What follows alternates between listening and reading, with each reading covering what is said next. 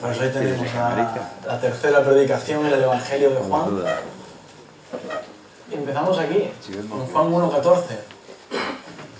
Vivimos su gloria, lleno de gracia y de verdad. Es la tercera predicación, aún estamos en los primeros versículos del Evangelio de Juan.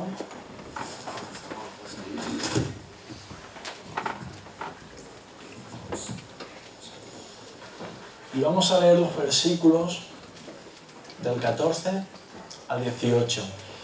Y puedes buscarlo en tu Biblia, Juan 1, vamos a leer del 14 al 18. Intenta prestar atención, porque eso te predispondrá tu corazón a la, la predicación. Intenta entender qué es lo que, lo que dice. Dice así. Aquel verbo fue hecho carne y habitó entre nosotros y vimos su gloria, gloria como del unigénito del Padre, lleno de gracia y de verdad. Juan dio testimonio de él y clamó diciendo, Este es de quien yo decía, el que viene después de mí es antes de mí, porque era primero que yo. Porque de su plenitud tomamos todos, y gracia sobre, gracia. Pues la ley por medio de Moisés fue dada, pero la gracia y la verdad vinieron por medio de Jesucristo. A Dios nadie le vio jamás. El unigénito Hijo que está en el seno del Padre, Él te ha dado a conocer. Eso dice Juan 1 del versículo 14 al 18. Así que empezamos en, en el versículo 14. Dice, y aquel verbo fue hecho carne. Y vimos su gloria. Así que Juan nos va a contar no solo lo que él vio, lo que otros más vieron. ¿Quiénes más? Los discípulos que estaban con él. Así que vamos a escuchar lo que ese testigo tiene que decirnos. El testimonio de Juan. Dice, el verbo se hizo carne. otra vez empieza con esa, con esa extraña expresión que ya vimos hace unas semanas. ¿Por qué se refiere a Jesús de esa forma? El verbo. No, hubiese sido más sencillo que dijera, Jesús se hizo hombre. ¿Hubiese sido más sencillo? Lo leerías más claro.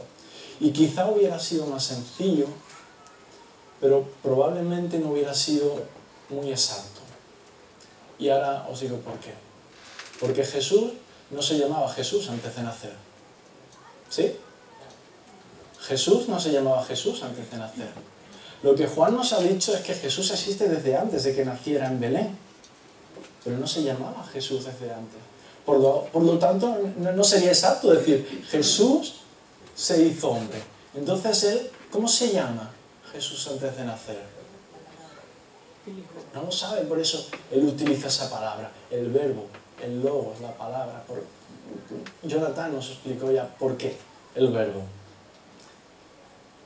Cuando, cuando Jesús nace, eh, el ángel le dice a José, tendrás un hijo y pondrás a su nombre Jesús, porque él salvará a su pueblo de sus pecados.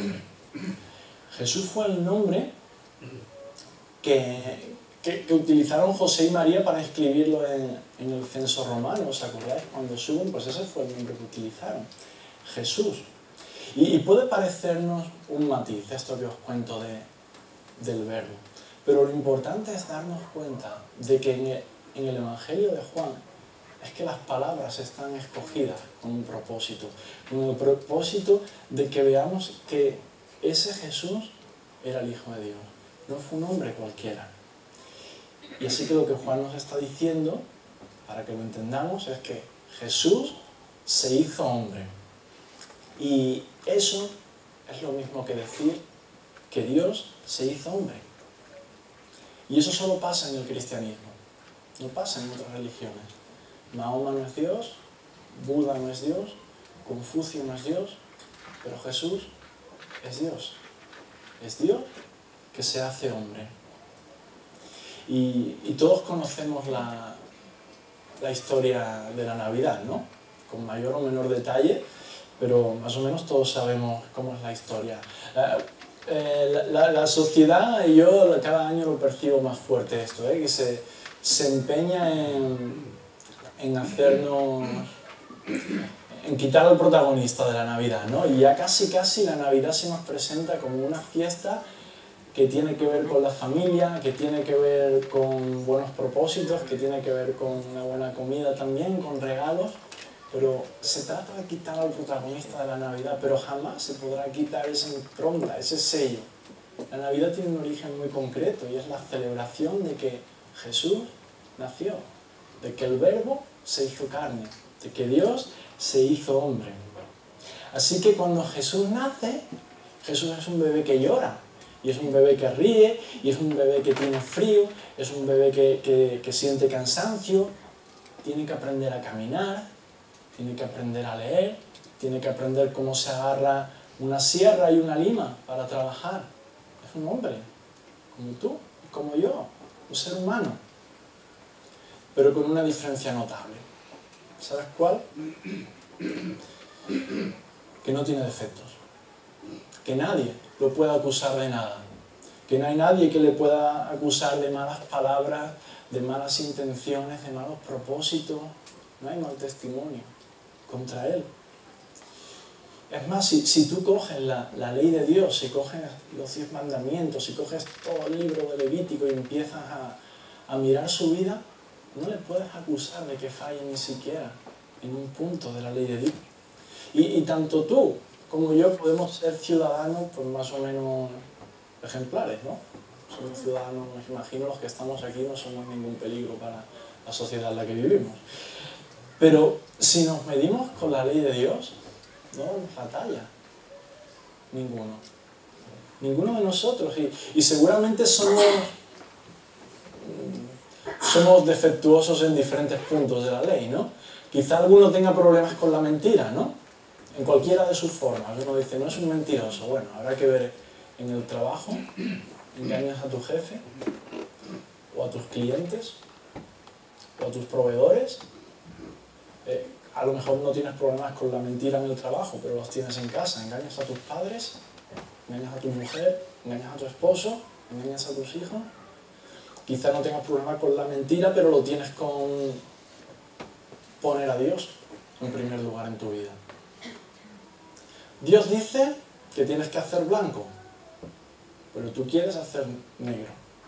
Tú deseas hacer negro. Es lo que te apetece. Así que tienes que elegir qué hacer. Lo que Dios quiere o lo que tú quieres.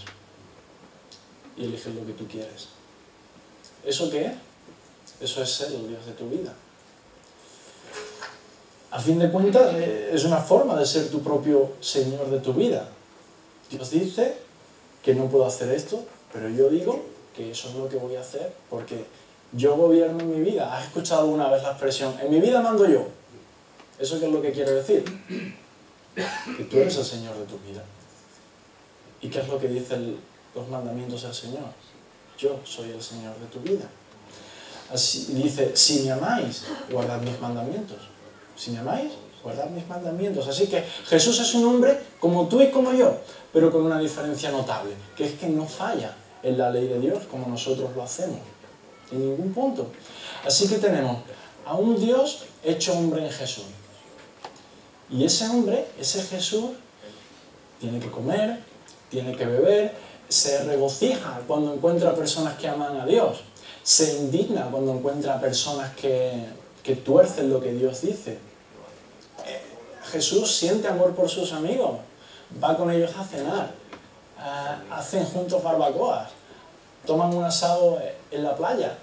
Jesús va a las bodas con sus amigos, coge a los niños, los besa, los abraza.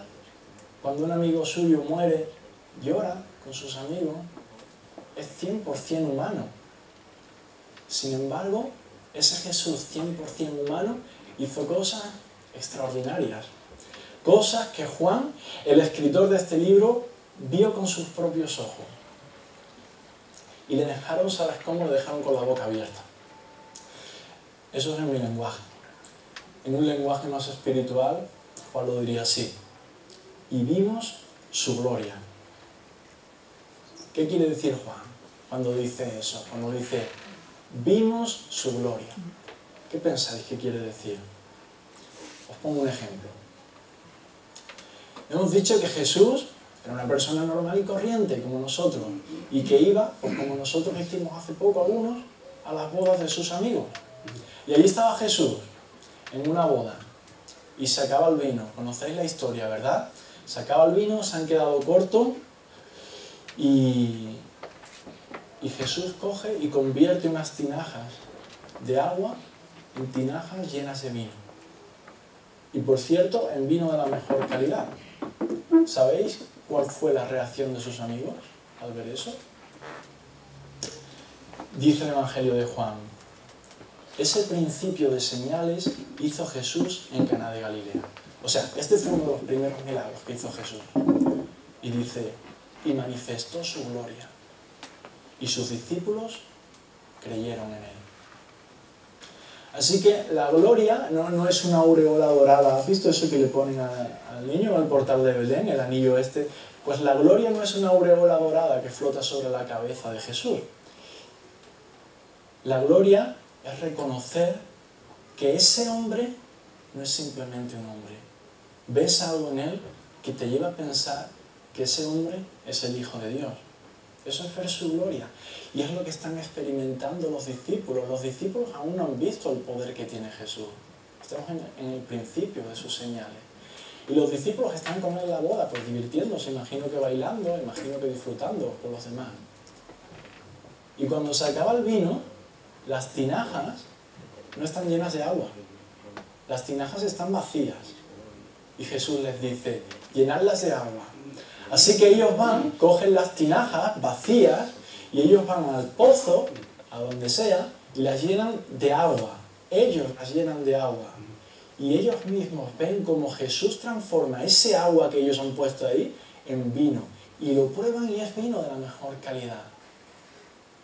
Y se quedan pensando, pero ¿quién es este?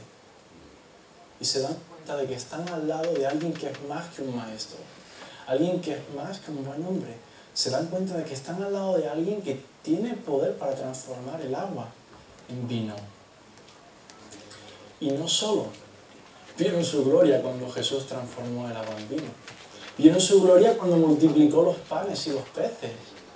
Ellos eran conscientes de que no tenían comida, buscaron y no encontraron y dijeron, ¿qué hacemos? Y ellos mismos recogieron doce canastas llena con la comida que sobró después de que Jesús multiplicara los panes y los peces. Vieron su gloria cuando vieron a Jesús caminando sobre el mar, cuando Jesús sanó al ciego,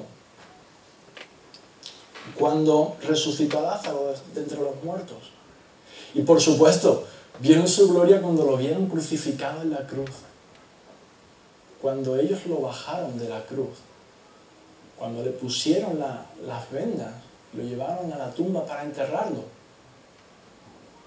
Y cuando los tres días fueron a ponerle flores y vieron que la tumba estaba vacía. Y vieron su gloria cuando después de, después de resucitar Jesús, Jesús desayuna con ellos, toma un almuerzo con ellos en la playa, lo que os contaba. Coge peces y dice que hacen una hoguera que ponen ahí como si fueran unos espetos y se lo comen con Jesús, el que había estado muerto. Vieron su gloria, no era un fantasma, no era una visión, era Jesús y estaba vivo, estaba comiendo allí con ellos. Por eso dice Juan, el verbo se hizo carne y dice, nosotros vimos su gloria, porque ellos vieron a Jesús y no lo vieron con, con una aureola en la cabeza, ellos vieron que estaban delante del Hijo de Dios. Y, fíjate, te voy a hablar de, los cinco sentidos. al ver sus obras, al oír sus palabras, al comer de su pan, al catar su vino, al tocar sus manos, su costado, con los cinco sentidos, pudieron sentir, pudieron experimentar la gloria del Señor, pudieron darse cuenta de que estaban ante alguien más que un simple hombre, que un simple maestro. Dice Juan, además en su libro, además de esto que yo os cuento, además de todo esto que yo os digo, hizo Jesús muchas otras señales en presencia de sus discípulos.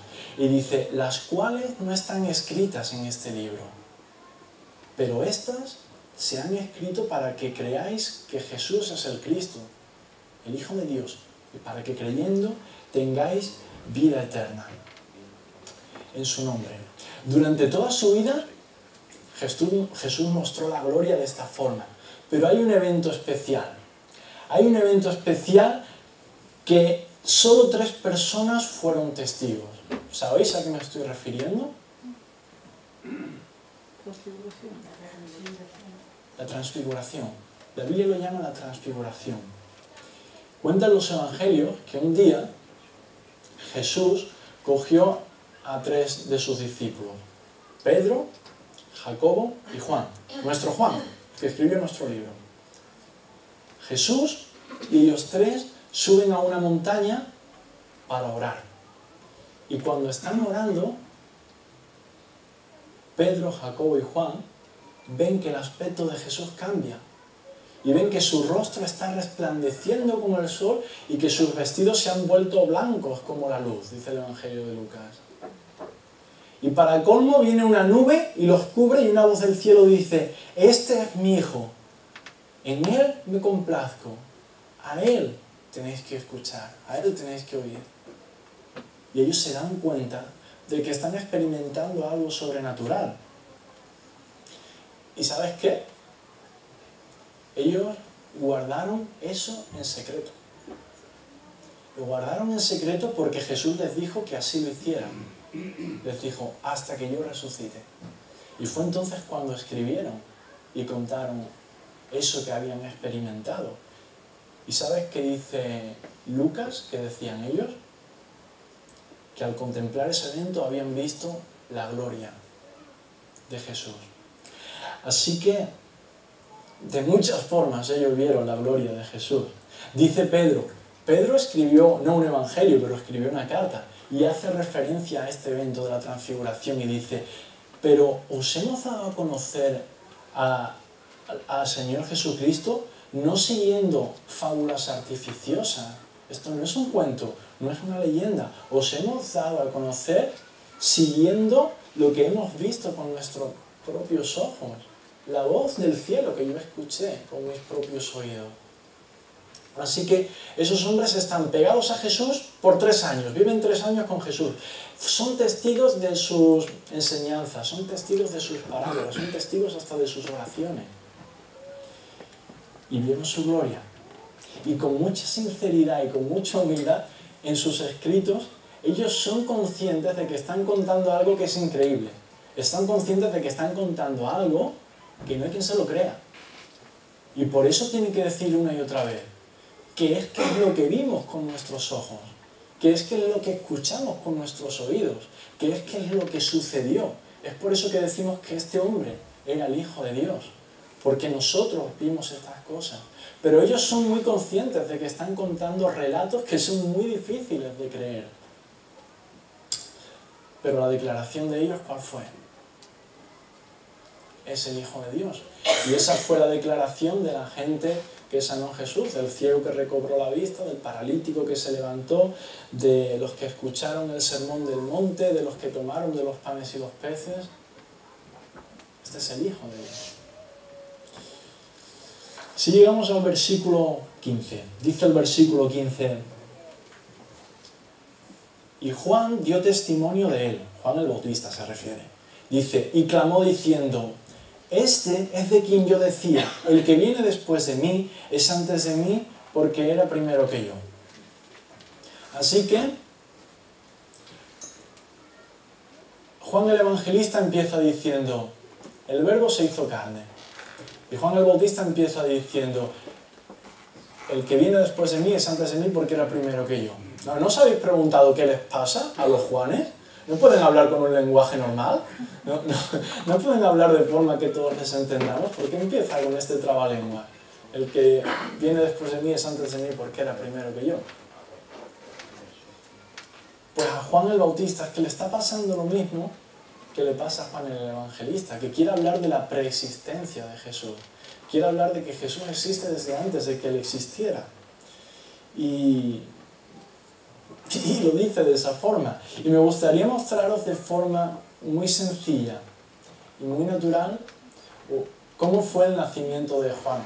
el Bautista y de Jesús, para que veáis bien a lo que se refiere Juan. ¿Os acordáis? Vamos a refrescar bien la historia de la Navidad hoy.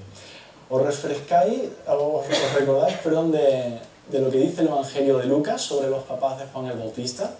¿Alguien se acuerda cómo se llamaban los papás de Juan el Bautista? Elizabeth y Zacarías. Elizabeth y Zacarías. Eran un matrimonio fiel a Dios. Era un matrimonio mayorcitos de edad. Y era un matrimonio que no tenía hijos. Pero ¿sabéis qué hacían? Oraban por un hijo. Porque Elizabeth conoce la historia del pueblo de Israel. Conoce lo que pasa con las mujeres estériles en Israel. Conoce el poder de Dios. Y a pesar de ser ancianos, a pesar de ser estériles, Elizabeth ora por un hijo. Como dice el, padre de, de un amigo mío, cada vez que veas una mujer estéril en la Biblia, prepárate porque Dios va a hacer algo grande. Y es verdad, se cumple una y otra vez. Y aquí lo hacen. Un ángel se apareció a Zacarías y le dice, tu petición ha sido escuchada y vas a tener un hijo y le vas a poner por nombre Juan. Y dice, y él va a ser grande delante del Señor. Él va a hacer que muchos se vuelvan a Dios. Él va a preparar el camino. ¿Sabéis qué pasa seis meses después?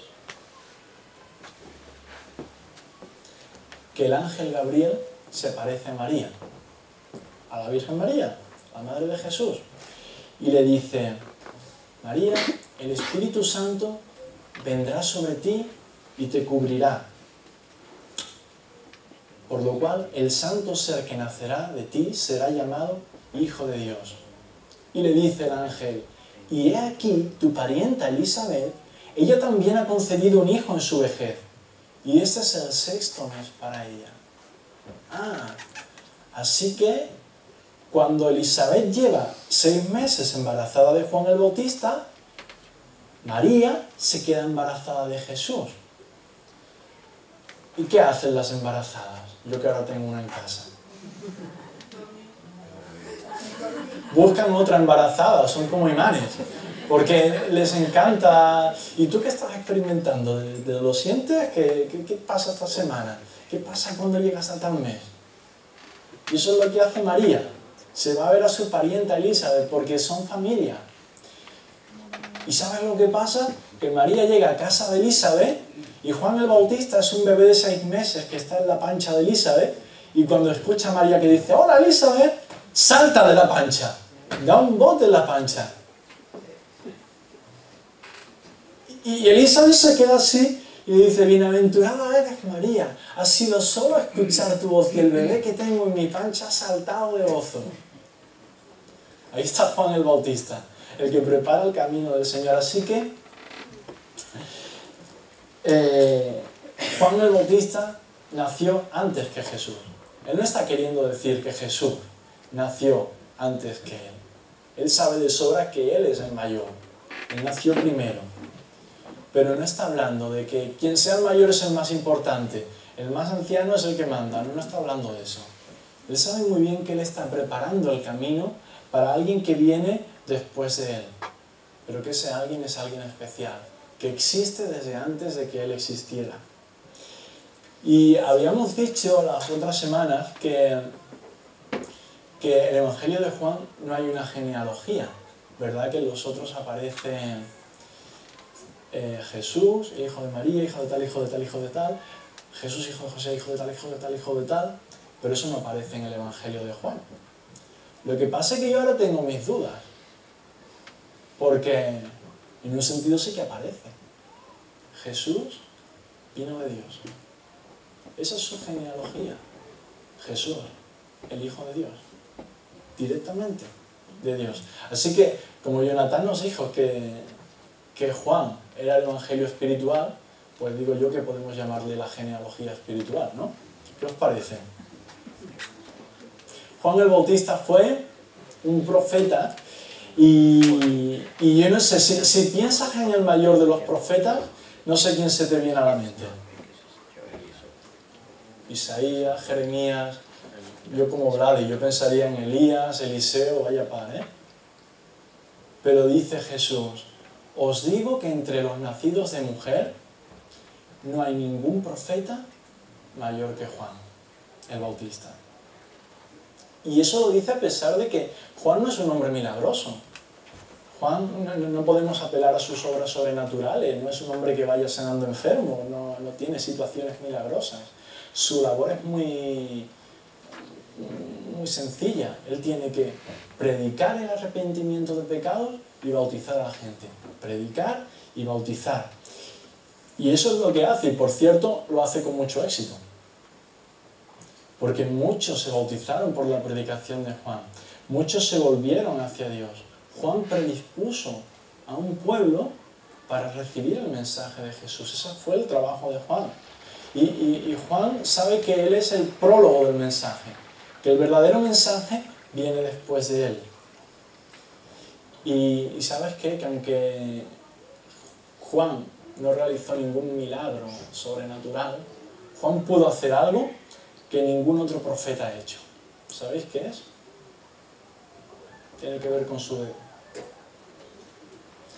Pudo señalar a Jesús físicamente. Fue el único profeta que pudo decir, ahí está, ese es el Hijo de Dios, ese es el que había de venir, ese es el que yo decía, de él os hablaba yo. Creedle, seguidle, él es. Y se aparta del camino. Es el único que puede hacer eso. Los profetas del Antiguo Testamento gritaban para mostrar al pueblo su pecado. Pero Juan grita para mostrar al pueblo su Salvador. Es diferente, es como si hay un accidente y todo el mundo está gritando, al médico, al médico, hay que ir al médico, corriendo. Eso es el Antiguo Testamento. Con Juan es, el médico ya está aquí, apartaos, confiad en él, dejadlo trabajar. El médico ya está aquí. Ese es el mensaje de, de Juan. Y dice los evangelios, más tarde, después de que Juan ha muerto, Juan lo matan, por si no lo sabéis, y, dice que muchos venían a Jesús. ¿Y sabéis qué decían?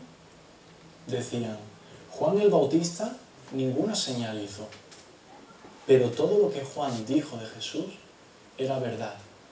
Y muchos creyeron en Jesús allí. Eso es preparar el camino para Jesús. No hizo ninguna señal, pero todo lo que dijo de Jesús era verdad. Y cuando la gente se acercaba a Jesús, decía, es verdad lo que Juan nos decía. Y creían en Jesús. ¿Y qué es lo que dijo Juan sobre Jesús? Pues dijo, Él es antes de mí. ¿Qué más dijo? Él es el Hijo de Dios. ¿Qué más dijo? Él es el Cordero de Dios que quita el pecado del mundo. ¡Wala! Otra expresión de esas para, para analizarla. El Cordero de Dios que quita el pecado del mundo. Es fácil de entender, solo necesitas conocer un poquito del trasfondo religioso del pueblo de Israel. Ellos ofrecían un cordero por sus pecados.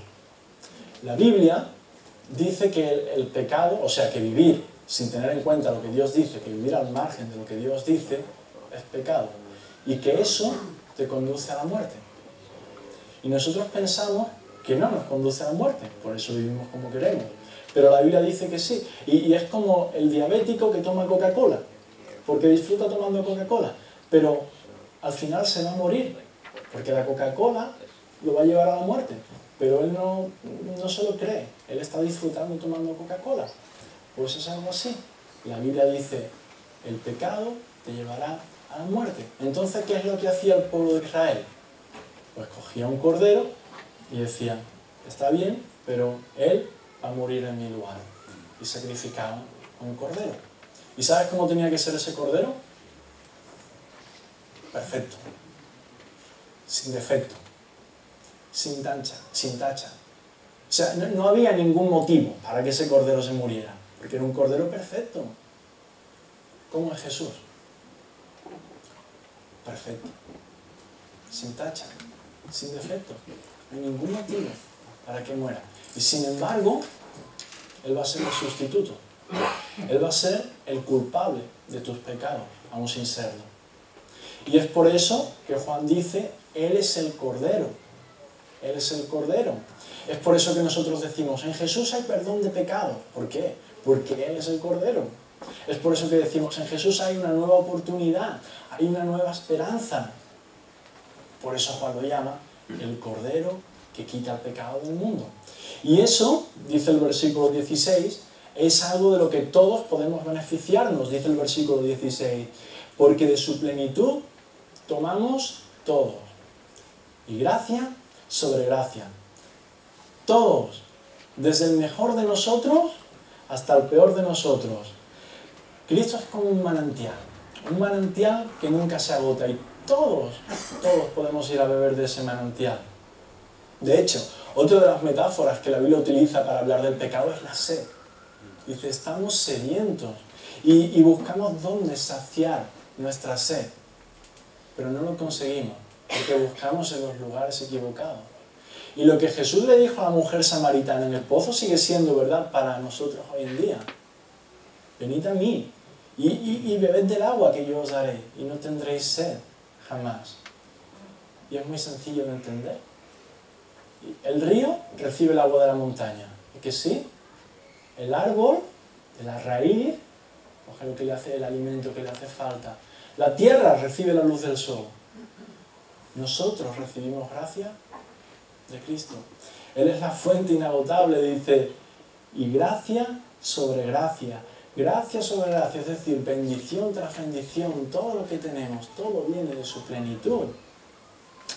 Dice primera de Timoteo, hay un solo Dios y un solo mediador entre Dios y los hombres, Jesucristo, hombre. Así que si existe un Dios en el universo, la única forma que tenemos de, de, tener comunión con ese Dios, de comunicarnos con Él, es a través de Jesucristo. ¿Sabe por qué? Porque Él es Dios que se hizo hombre. Él puede tener contacto con nosotros porque es hombre. Puede tener contacto con Dios porque es Dios. Y dice Jesús, las escrituras dan testimonio de, mí. Sin embargo, no queréis venir a mí para que tengáis vida. A pesar de que las escrituras dan testimonio de mí, sin embargo no queréis venir a mí para que tengáis vida. Y me pregunto, ¿por qué esa rebelión contra Cristo? ¿Por qué esa rebelión contra Cristo? ¿Por, qué esa obstinación contra Él? Si, si anhelamos algo de vida espiritual, no lo vamos a encontrar si lo buscamos fuera de Cristo. Porque Él deja muy claro que no hay otro camino para llegar a Dios, aparte de Él. Dice el versículo 17, pues la ley por medio de Moisés fue dada, pero la gracia y la verdad vinieron por medio de quién? De Jesucristo. Aquí hay un contraste, la ley y la gracia. Moisés y Cristo. ¿Sí? Los judíos consideraban a Moisés como si fuera el padre de su religión. Él, les había dado su ley, les había dado los mandamientos, les había dicho cómo tenían que comportarse, cómo tenían que juzgar, cómo tenían que adorar. Era el padre de todo lo que tenían. Todo venía de Moisés. ¿Y sabéis cuál es el problema que los judíos tenían con Jesús? Que encontraban contradicciones entre lo que Moisés les dio y lo que Jesús hacía. Y ahora vais a ver qué, qué corazón tenía y cuáles eran esas contradicciones. Por ejemplo, Jesús sanaba a alguien en un día de reposo, en un día de descanso. Ellos decían, ah, tú eres un pecador, porque no cumples el día de reposo. El día de reposo no se puede sanar a alguien. El día de reposo es para descansar. Y Jesús le decía, ¿habrá que ser hipócrita? O sea, vosotros, si vuestro burro tiene sed, le dais de beber en el día de reposo. Si se os cae un burro en un hoyo, cogéis y lo sacáis y lo ayudáis. Y yo, que tengo a uno de mis hijos que está sufriendo por años una enfermedad, no lo puedo sanar un día de reposo. ¿Así de hipócrita soy? Pues así de hipócrita era. Y de esas cosas es de las que acusaban a Jesús. Y es más, Jesús les dice algo que les parte por la mitad. Les dice, pero además sabéis qué? Que yo soy Señor aún del día de reposo. Y yo no fui hecho para el día de reposo. El día de reposo fue hecho para mí. Y eso a ellos les, les dejaba con la boca cerrada, pero con un montón de ira además en el corazón. Y Jesús, Jesús no desconocía la ley, Jesús no iba en contra de la ley, porque esa ley, ¿sabéis qué? Salió de él mismo. En el principio era el verbo, y el verbo era con Dios y el verbo era Dios. Esa ley salió de él mismo, por supuesto que la conocían, por supuesto que no iba en contra de ella. La ley son una serie de mandamientos y de ordenanzas que nos hablan, nos, dejan ver cómo es el Dios que hay detrás de esos mandamientos y de esas ordenanzas. ¿Cuáles son los mandamientos? A ver si nos dejan ver cómo es ese Dios. Es un Dios que quiere ocupar el primer lugar en nuestras vidas. Es un, Dios que no quiere que tengamos ninguna imagen de Él. Es un Dios que quiere que se respete su nombre. Es un Dios que quiere que apartemos un día a la semana para santificarlo. Es un Dios que quiere que honremos a nuestro Padre y a nuestra Madre aquí en la tierra. Es un Dios que aborrece la violencia, el adulterio, la mentira, el hurto y la envidia. La ley nos deja ver cómo es el Dios que hay detrás de esa ley.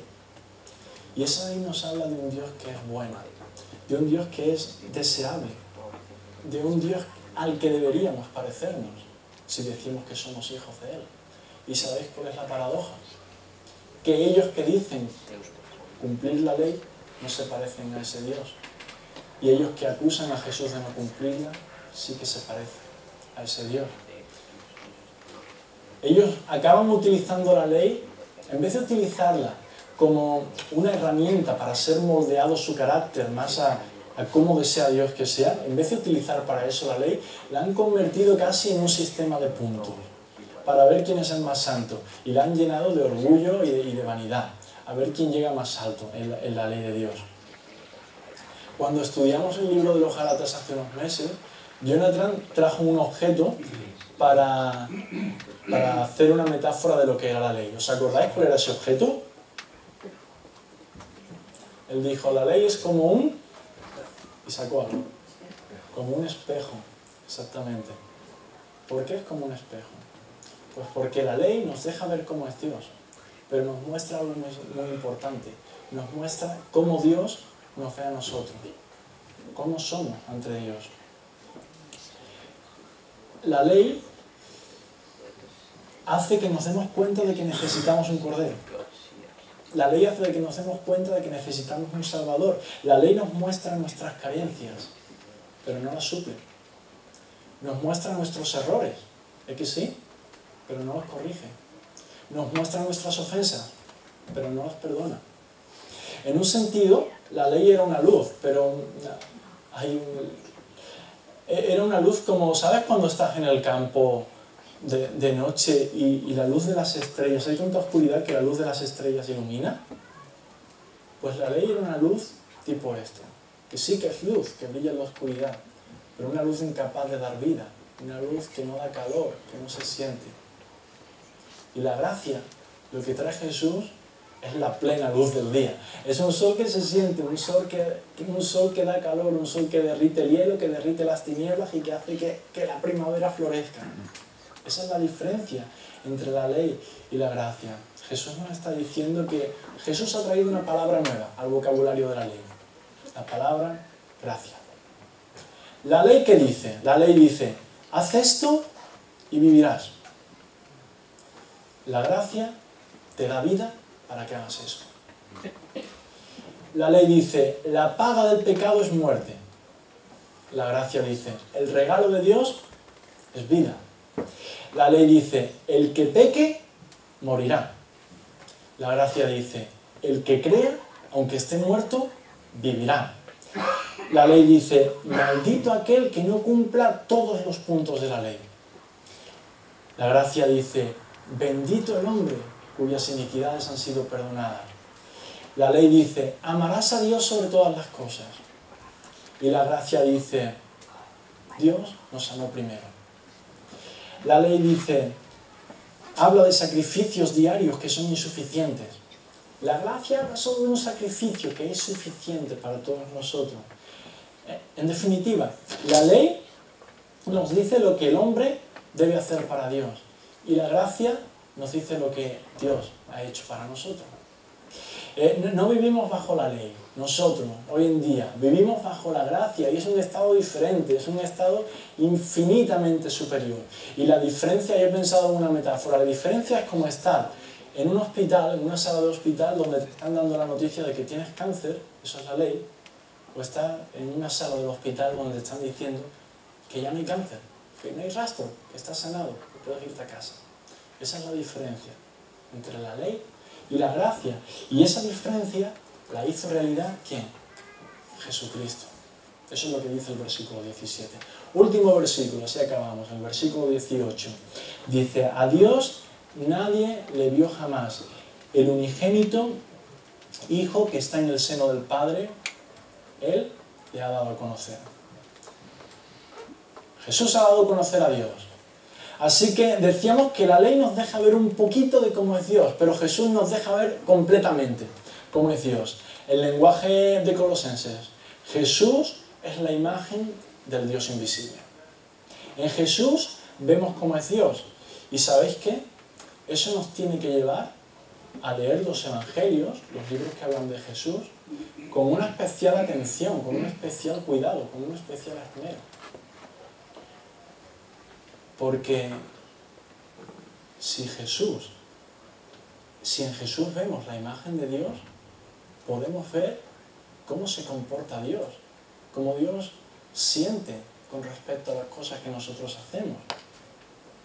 Vamos a hacer una cosa. Vamos a dividir la sociedad en dos grandes grupos, así, a grosso modo. Los que creen y los que no creen. Los que creen con mayor o menor acierto, es igual.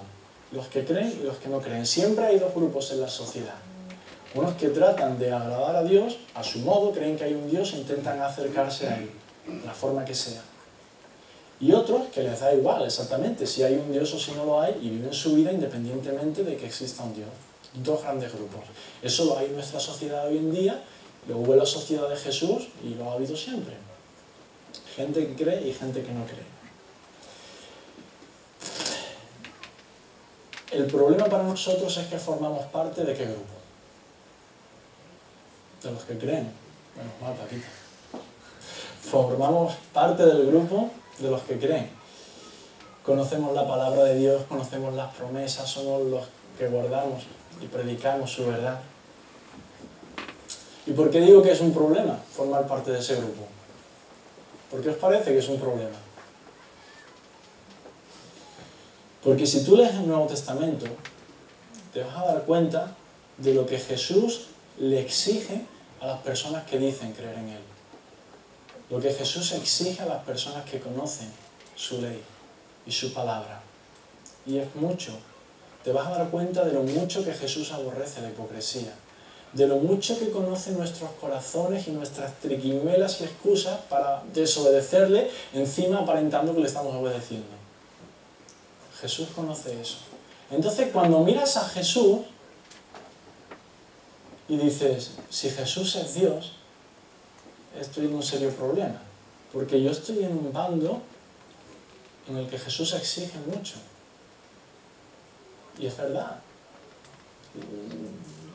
No somos ignorantes delante del Señor. Puedes ver ahí al, al más puro Jehová.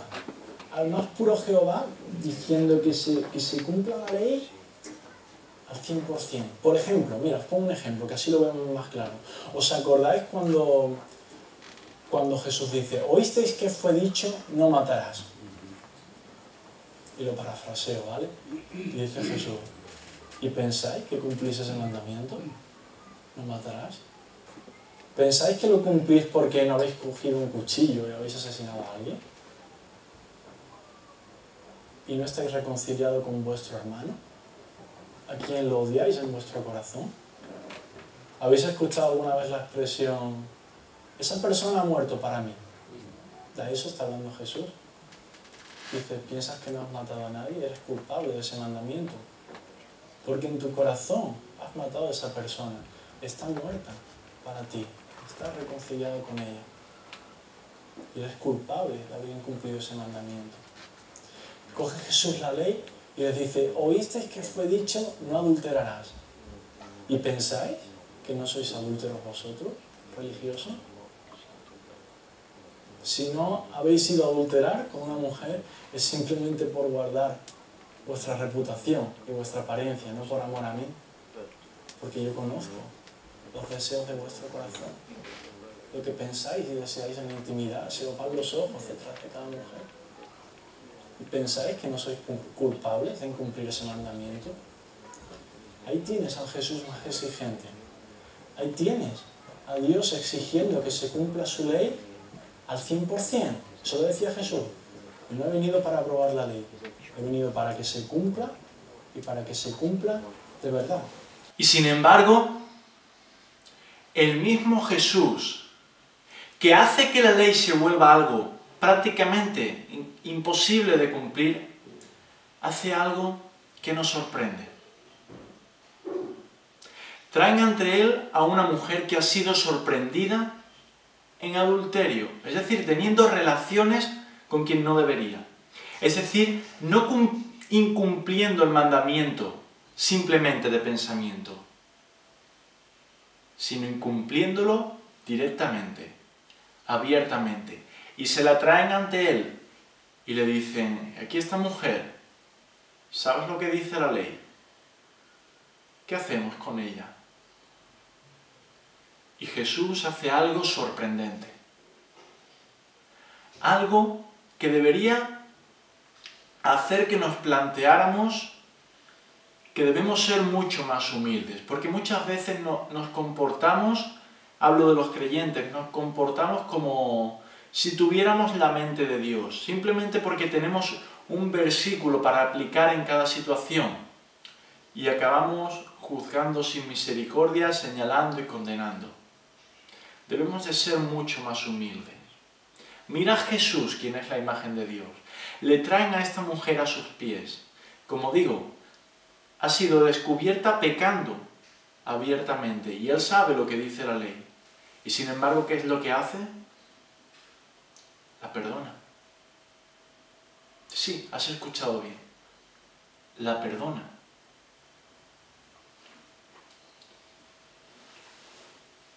Eso es lo que vemos en la imagen de Dios, de Jesús que Él puede sorprendernos.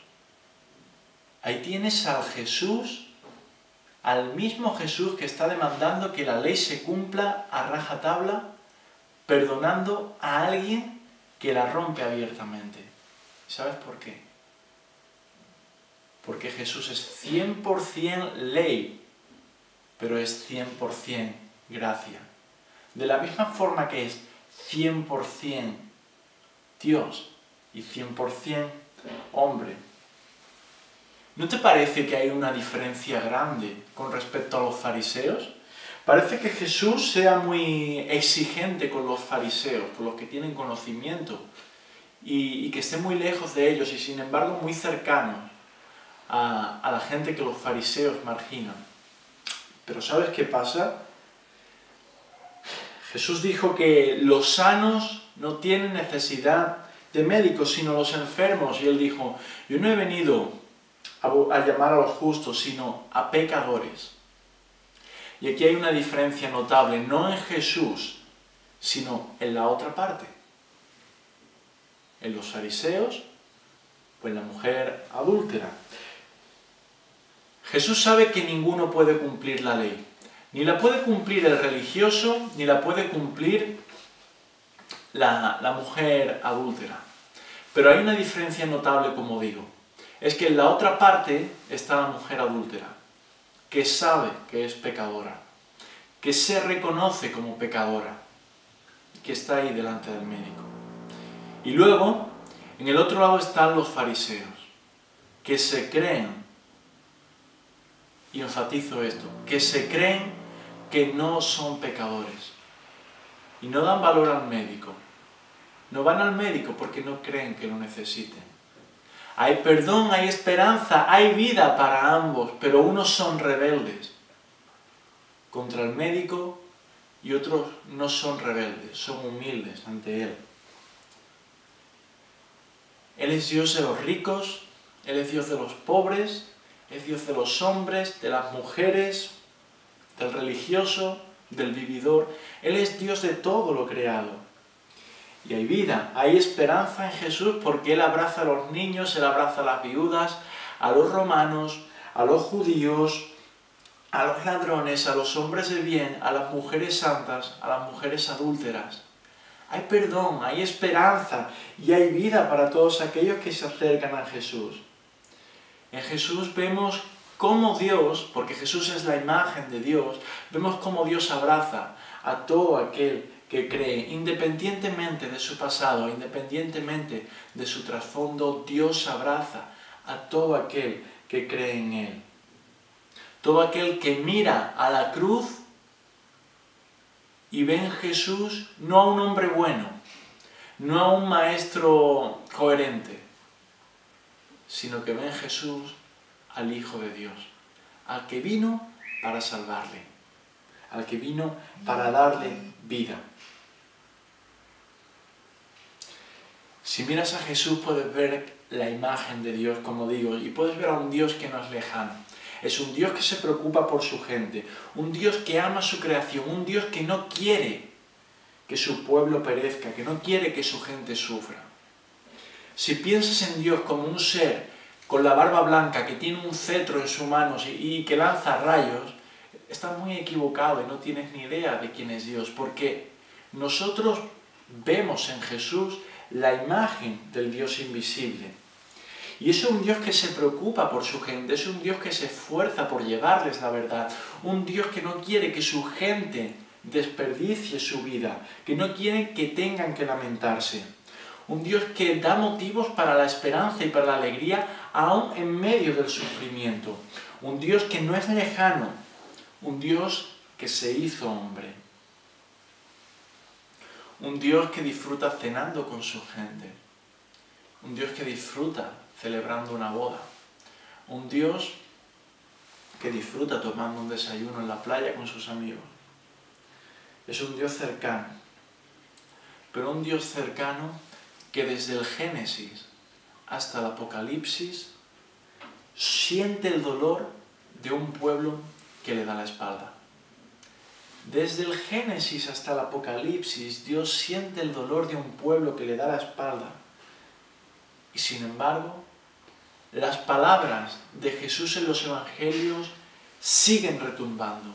Las escrituras dan testimonio de mí y sin embargo no queréis venir a mí para que tengáis vida. No queréis venir a mí para que tengáis vida, dice Jesús. Ve a Él, ve a Él, quien quiera que sea que me escuchas. Ve a Él, no es un consejo, no es una invitación, es un imperativo. Ve a Él. Ve a Él y experimenta la vida, descubre el perdón, descubre la esperanza que hay en conocerle como Dios, no como un buen maestro. La verdad es que no tengo mucho más que decir sobre este texto. Simplemente, el verbo se hizo carne. Eso es lo que nos dice Juan. El verbo se hizo carne y vimos su gloria. Ve a Él. Ve a Él. Ve a Él. Dios te bendiga.